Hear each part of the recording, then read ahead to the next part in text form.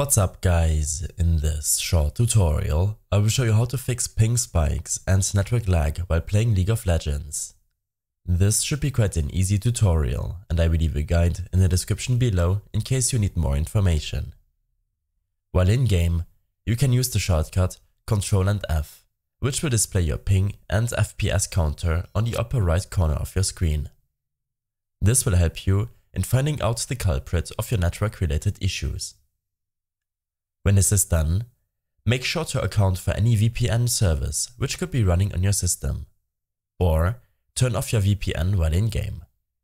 I will leave a link to our partner Privado VPN in the description below, in case you're still looking for a VPN service to use.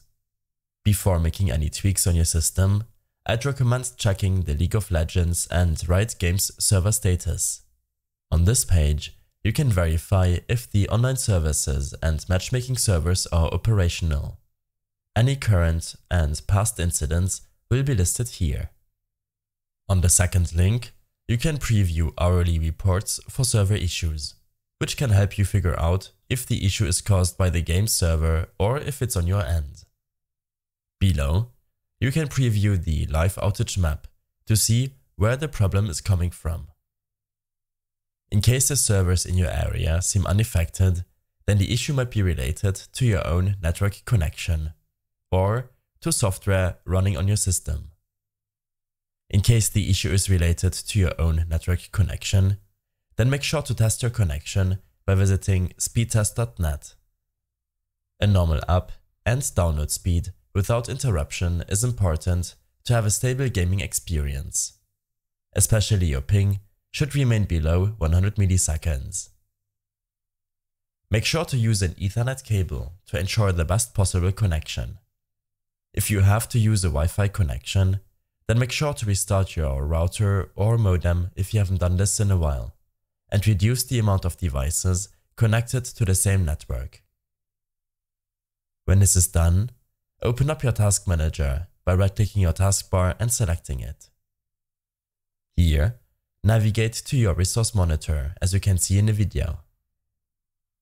In the Network tab, open up the processes with network activity, and after a few seconds you will see every process using your network connection. This might be your browser running in the background, Steam, or a download bottlenecking your connection.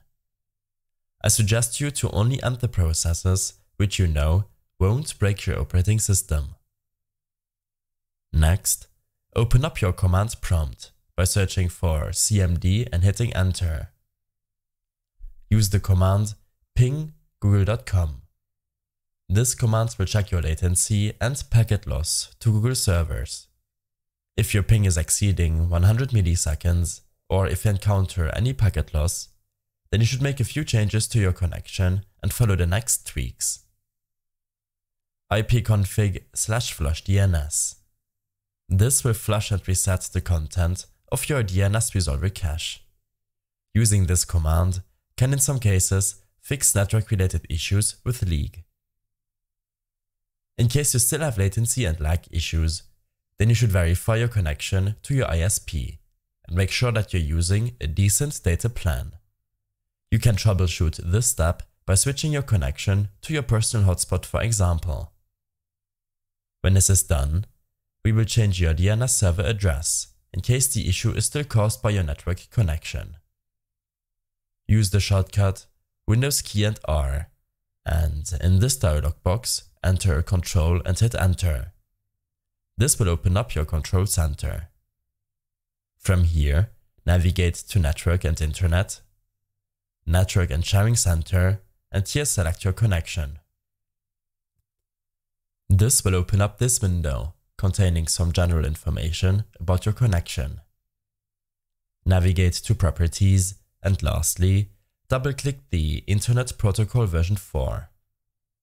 Select to use the following DNS server addresses option and as your preferred DNS server, use 8888 and as your alternate DNS server, use 8844. This will for a lot of users fix network related issues, as these are the official public DNS server addresses from Google, which are safe to use.